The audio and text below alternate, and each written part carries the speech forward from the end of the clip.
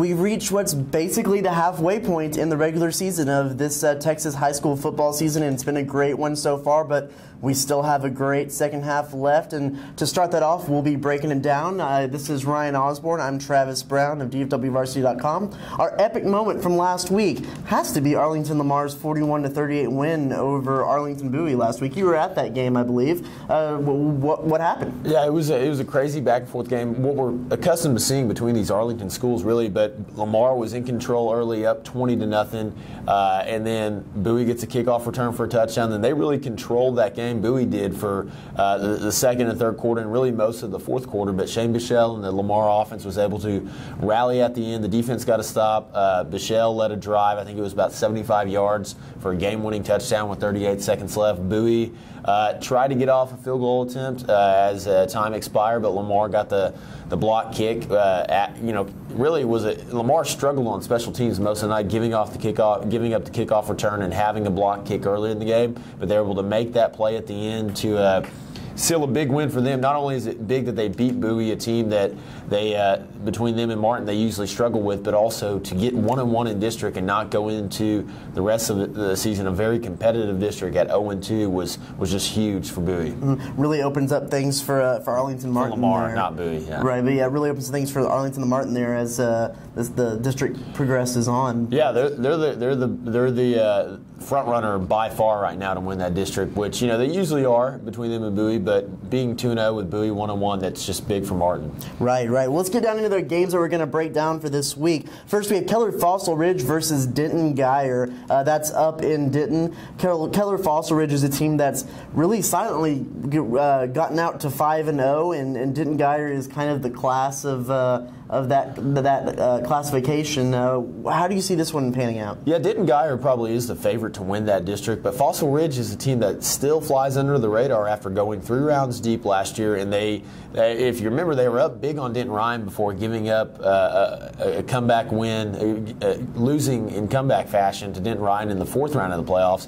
But really, what I, what I think uh, this game's going to come down to is how well can Fossil Ridge throw the ball against Denton Guyer because they've shown that Guyer has some lapses in defense. They gave up 33 points to Keller, I believe, 33 points again last week to Justin Northwest, two teams that are uh, sort of at the bottom half of that district. But uh, I think I think Fossil Ridge is going to win this game. I really do think they're going to pull the upset. They're a solid all-around football team. I think Bryce Baccarini is going to be able to make throws when he can, and Keyshawn Foster is going to be uh, be able to uh, really run the ball with control like he has all season. Right. It's all about uh, controlling uh, that running back of Fossil Ridge, who's done some great stuff yeah. this year. Uh, next, we have Fort Worth Trimble Tech versus Fort Worth South Hills. Uh, big big matchup in the Fort Worth ISD schools this week. Yeah, Trimble Tech surprisingly at four and two. You know they they've been able to kind of be that I think be that Fort Worth school that Southwest was last year, where they could score some points, make some things happen on offense, and maybe squeeze out a uh, squeeze out a few wins.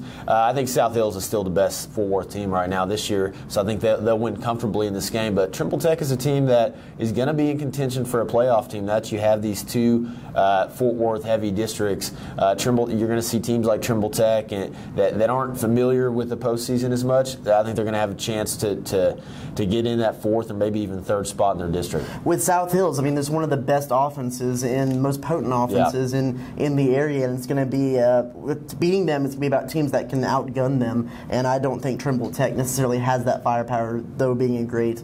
Uh, team this year, so I have uh, South Hills in that one as well. And finally, we have Everman at Aledo, a kind of an old school matchup of uh, two uh, longtime rivals. Yeah, it's a couple powerhouse programs, storied programs. I think Aledo's more of the powerhouse now. I think they'll take care of business against Everman, and it, I think it's, it's just going to come down to again, sort of like with Fossil Ridge, can Everman diversify their offense enough? Can they throw the ball enough? They have the big running back in Kira Crossley who's going to put up numbers. He always does.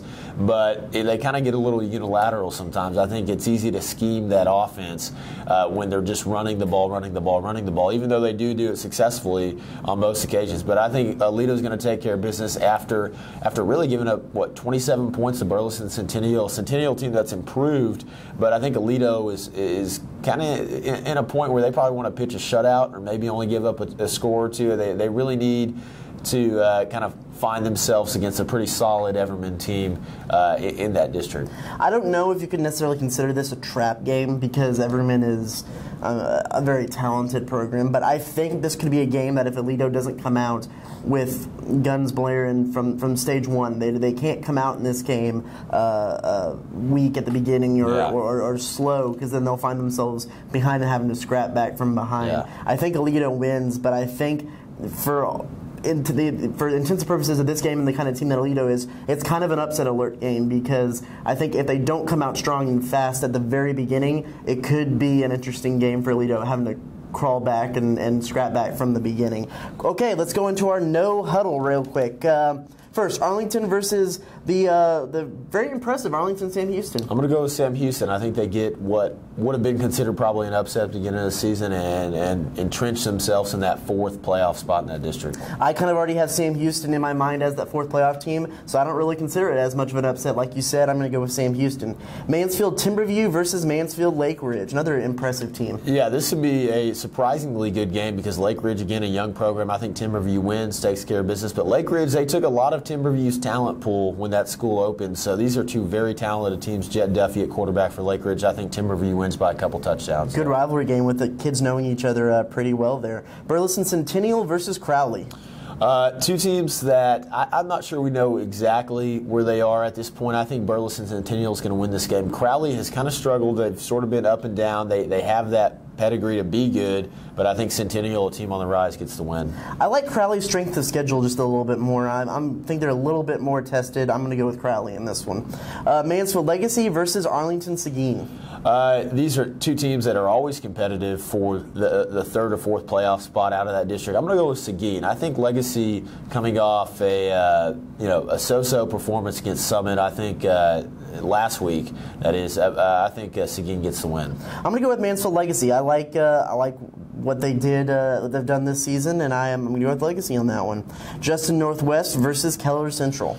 Uh, two teams that need a, Northwest really needs a uh, win at 0 2, but I think uh, Central's going to scratch and claw for a win like they usually do and get the 2 and 1 in district. No one's had more of an up and down season than Keller, Keller Central. I mean, winning some big games and coming back and losing to teams they probably should have won uh, against. Um, I'm going to go with uh, Northwest on this one. I think. Uh, like it's just too up and down for Keller Central with me, and I'm going to take Northwest in this one. And finally, we have a very interesting under the radar game: uh, Brewer Ford Brewer versus the five and zero Denton. New coach for Brewer, they're 4 and 1 right now, very surprising. Denton's 5 and 0. I'm going to go with Denton to, to win this one because I think they're that high powered team in that district, but uh, Brewer will probably make the playoffs, which is, is, is a really big deal for that program. Right, I'm going to go with Denton uh, as well. Uh, it's just a, a cool thing for that program to see them being relevant again since uh, Denton's expanded all those uh, schools.